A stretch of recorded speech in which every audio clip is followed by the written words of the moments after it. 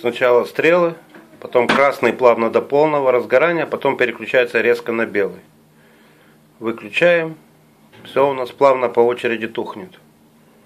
Включаем стрелы, красные, белые. Все это вот этот контроллер у нас управляет.